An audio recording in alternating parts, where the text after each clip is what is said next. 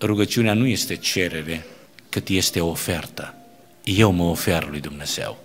Adică eu în rugăciunea mea spun Tatăl nostru care ești în ceruri și încep să spun sfințească-se numele Tău și atunci eu lucrez, mă dăruiesc în rugăciunea mea ca să se sfințească numele lui Dumnezeu. Vie împărăția Ta și eu lucrez ca împărăția lui Dumnezeu să vină. Facă-se voia Ta și atunci eu mă ofer ca să fac voia lui Dumnezeu și continui așa. Eu ofer iertarea, da? am citit aici, dacă voi iertați, Tatăl vostru vă iartă. Dacă nu iertați, poți să te rogi, poți să strigi, poți să construiești rugăciuni cât se poate de frumoase. Dumnezeu nu dă niciun ban pe ele. Pentru că rugăciunea înainte de cerere trebuie să fie ofertă. Eu mă ofer. Eu m-am oferit să iert. Doamne, iartă-mă cum am iertat și eu.